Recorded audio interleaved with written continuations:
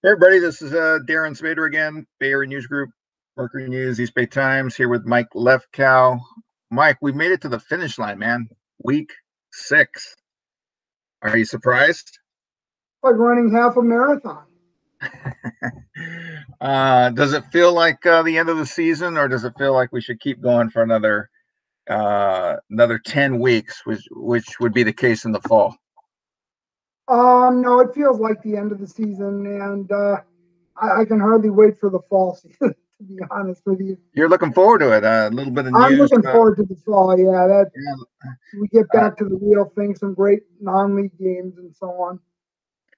Yeah, uh, I'm not going to go as far as saying the real thing because it's been there's been some pretty good games this this uh, this spring, but I, I I get what you're saying. Uh, I mean, uh, Vic Galley last weekend told us who he's playing non-league, and man, um, I'm counting the days. I mean, they they open against Serra, going to play Valley, Wilcox, possibly Folsom. That'll be good. Yeah, it will be. I mean, the thing I'm happiest about now is that the seniors got to play their last year. It was a chance for the colleges to look at some of these players and see if they could help them in, in the future. So that's the one really good thing about this season. All right. Well, the uh, last week's picks, the weekend started off uh, pretty well for me. Uh, I I uh, had Los Gatos, which rallied from 19 down to beat Wilcox. So we only had four four of the 14 games where we went our separate ways. So uh, those were going to be the ones that were going to decide who had the upper hand going into the final week of our picks competition. And uh, unfortunately for me, uh, you won the other three games. Uh, all close, but you still won. Um, Freedom and Liberty, you won that one.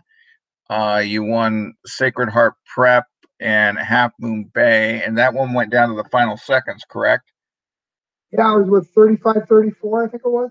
Yeah, something crazy, some crazy score. I can't remember what it was, but it was it was wild and uh uh Sacred Heart Prep scored late. And then you also had uh Oak Grove over Silver Creek, which that turned out to be the case.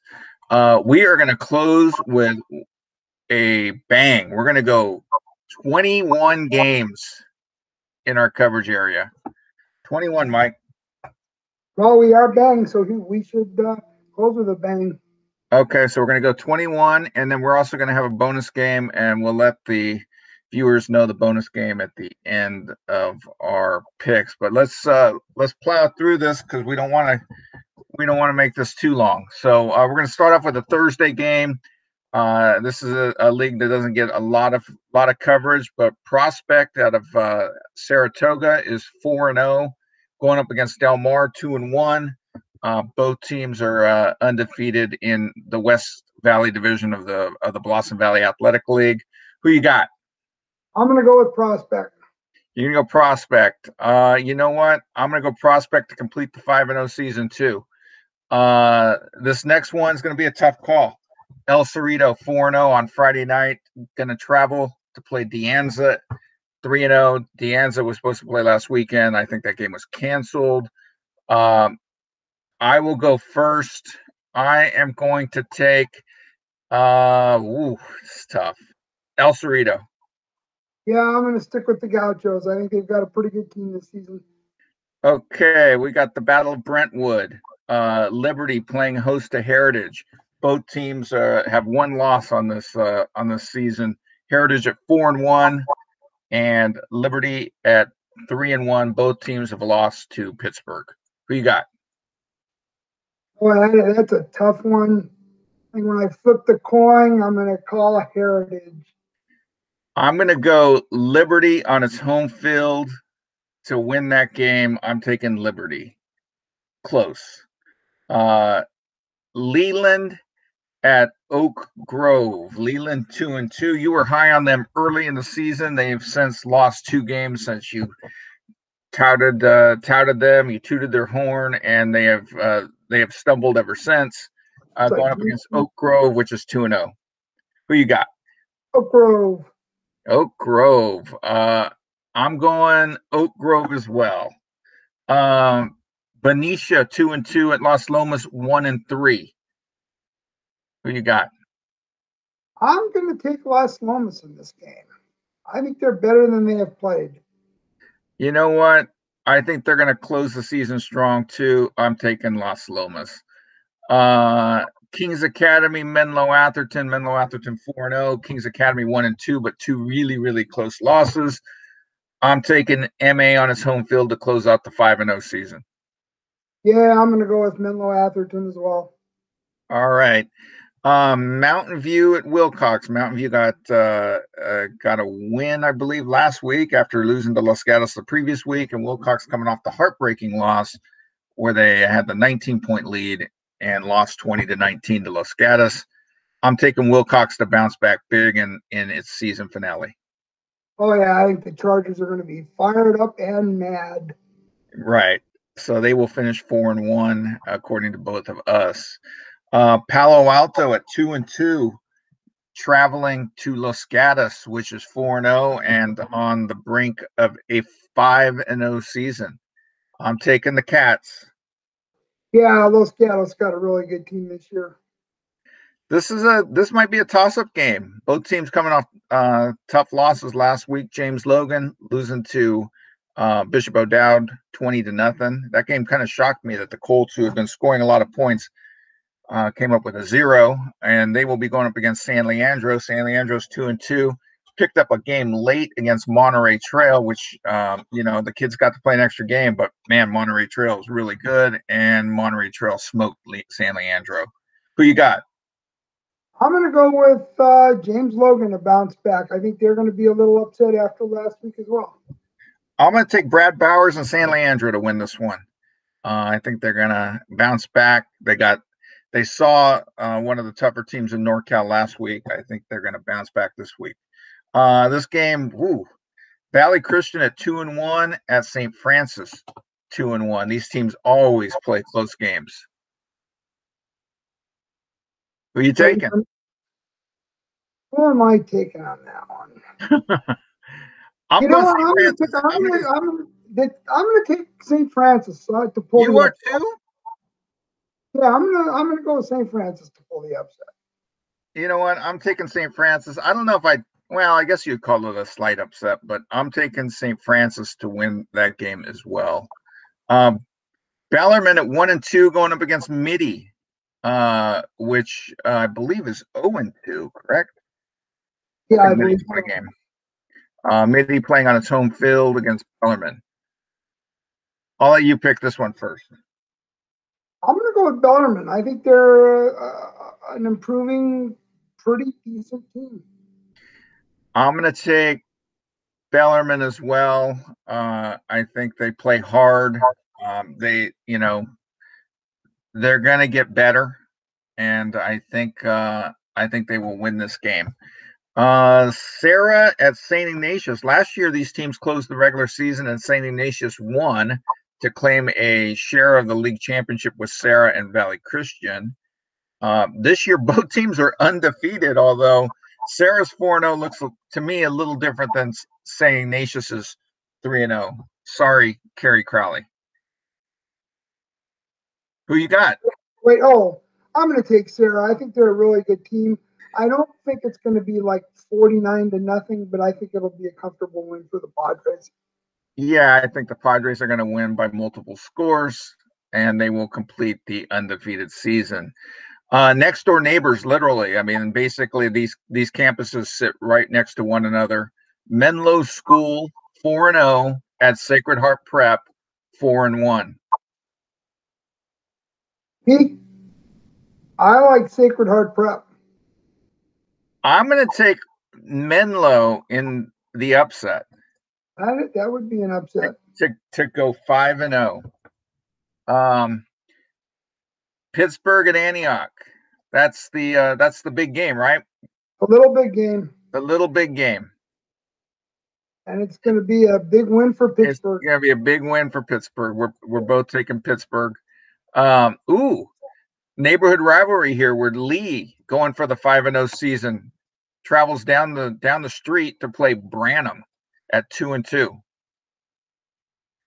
I'm taking Leigh to go five and zero, even though the coach says they, they. I think they only have like 20 players. I'm gonna I'm gonna go with Branham. Pull off the upset and spoil Leigh's undefeated season. You're gonna they're gonna spoil Leigh's undefeated season. I'm gonna go, yeah, I'm gonna take Branham. I'm gonna take Kyle Padilla's uh, Leigh Longhorns. Um, not not sure why this game's on the on the menu here, but we'll pick it nonetheless. Uh, Steve Pappan's 76ers of Independence, three and one, going up against Willow Glen, still searching for its first win at 0 and 4. I'm gonna go Indy, even though they're on the road. Yeah, I'm gonna take Independence, but I think that game's gonna be a little closer than people think. Okay. Uh, Gunn going for the undefeated season, 4 0 at Cupertino, 2 and 1. Hmm. That's a tough call. Uh, Cupertino Cupertino plays hard under Chris Oswald. I'm still but I'm taking Gunn. I'm taking Gunn. All I- right. I, I still think Gunn pulls that one out. Okay, we have a handful of uh, just a few more games left. Uh, Saturday night, uh, Foothill at Amador Valley, the Battle of Pleasanton. Foothill four and one, Amador one and two. Me first? No, I'm, I'm, I'll pick. I'm- I'll pick first. I'll pick first. I'm gonna go Foothill to finish out the five and one season. Yeah, I, I think Foothill pulls this one out. I think it's going to be a tight game, though. It will be definitely tight. And it would Uh, not surprise me if Amador won, to be honest. You know this this game.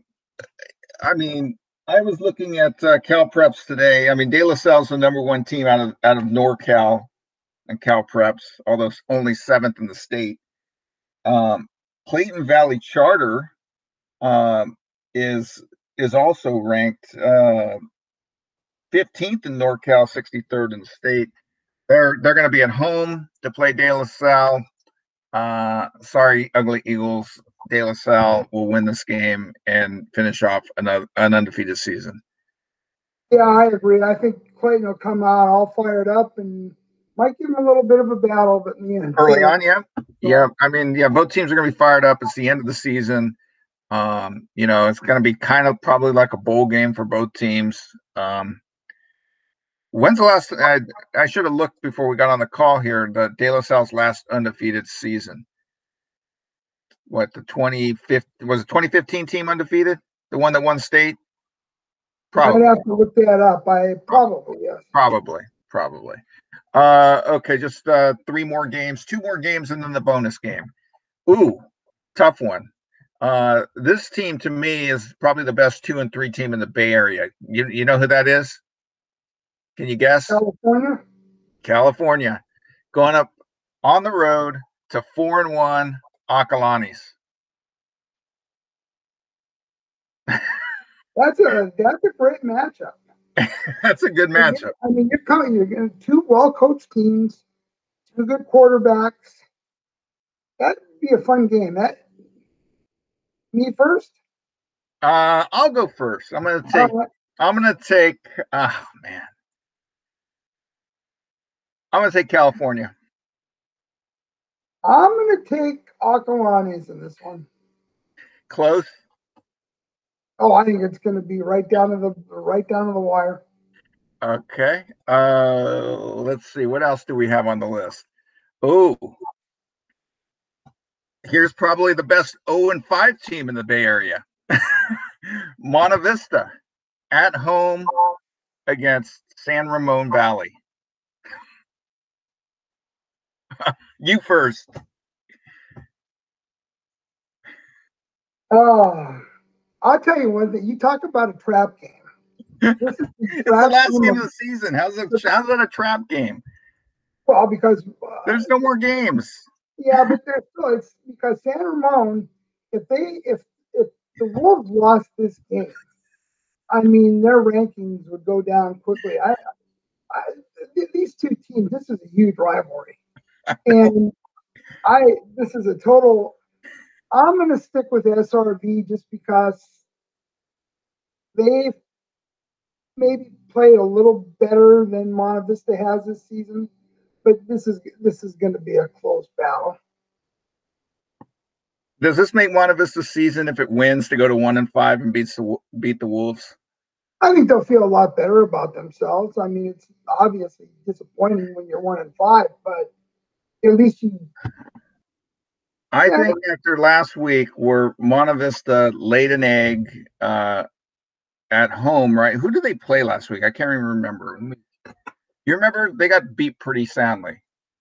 Yeah, they played. Um, oh, Jesuit. Played Jesuit, didn't they? Jesuit beat them 51 to 20. 51 to 20. Oh man. Um I mean everything about this tells me to take the Wolves. I'm gonna take Monta Vista to go one and five. That's not a bad pick. Like I said, I, mm-hmm. I think it's a one score game. All right. And the last game on our list is a Southern California game, the bonus game St. John Bosco 5 and 0, Mater Dei 4 0, Santa Ana Stadium Saturday night, one versus two. I'll let you pick first. I'm going to say exactly what I said before we got on this thing. I hope they played to a 0 0 tie. You're not a big fan of either. No, I'm not. I, I think that they're playing a level of football that to, not even. I mean, it's like IMG. They're IMG. Is that what you're saying? When I say that, but that's fine. Um, they play at a high level. What's that? They play at a high level. There are a lot more people in Southern California than there are in Northern California. Yeah, and they, they also get, got the, they got that top player from Stockton. They got one of the kids from San Ramon Valley. I mean, well, maybe, maybe they maybe they should look for the what is it the however many million or was it 14 million in the Southern California basin, somewhere like why that. do they have to get kids from up here from that's that's true. Okay, well then you've made your point. So who are you taking? Are you taking a tie?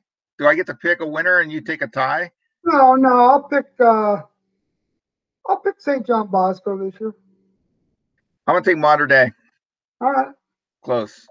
Uh, I'm gonna have to go through this to see who all we pick because that was a lot of games. Uh, right now, you hold a two-game advantage. What were your thoughts after last week? I mean, to to win those those squeakers and to to reclaim your your advantage.